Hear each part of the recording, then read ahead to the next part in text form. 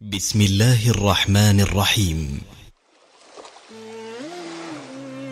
وانتثرت خيوط الشمس على المدى لتفصح عن قصة وطن اختلطت فيه الورود بأذى الأشواك وأضحت شوارعه ملطخة بلون أحمر قان.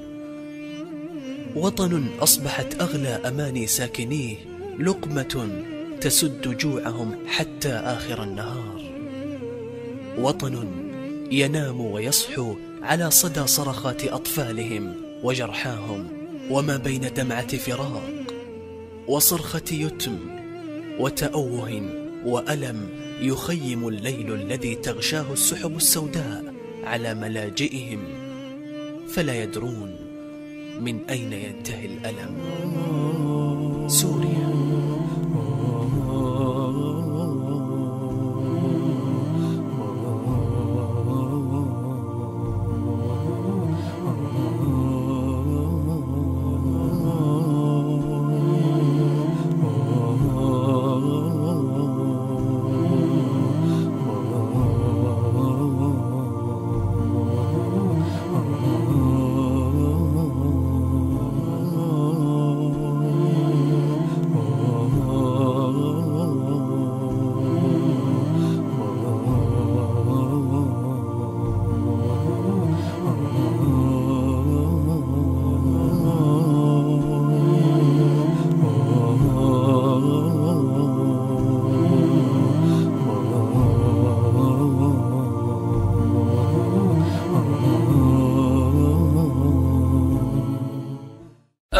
أبكي على شام الهوى بعيون مظلوم مناضل وأذوب في ساحاتها بين المساجد والمنازل.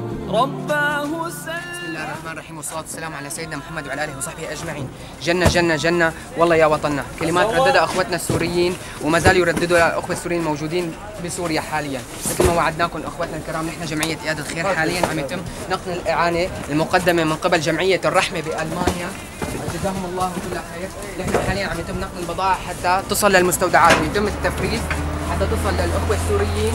بالاحتياجات المهمة لهم يا رب هيك الله يجمعنا على الخير دائما ويفرج عن شعبنا وعن بلدنا الغالي. وصلى الله على سيدنا محمد وعلى آله وصحبه أجمعين. رفعوا الأكف تضرعوا عند الشدائد والزلازل. حاليا عم يتم تفريغ الاغاثه المقدمة من قبل جمعية الرحمة بألمانيا. الله يجزيهم الخير بمستودعات جمعية إياد الخير حتى يتم فرزها وتقديمها للأخوة السوريين. يا رب هيك نكون عند حسن ظن. حرة سيارة حاليا من الاعانه المقدمة من قبل جمعية الرحمه بألمانيا لحتى تتوجه لمنطقة حمص لمن... لحي دير بعلبه وإن شاء الله يا رب بيصلوا بالسلامه لاهلنا المحتاجين بحي دير بعلبه والسلام عليكم ورحمة الله. معاول لا عاش. الاعانه المقدمة من قبل جمعية الرحمه بألمانيا مشكورين جزاهم الله كل خير. يا رب هيك نفرج على بلادنا ونفرج على اهلنا بسوريا يا رب. وعليه أصبح حوبة. الله يجزيك كل خير. لله رب المشتكى رب الأواخر والأوائل والله فوق المعتدي فوق الأسن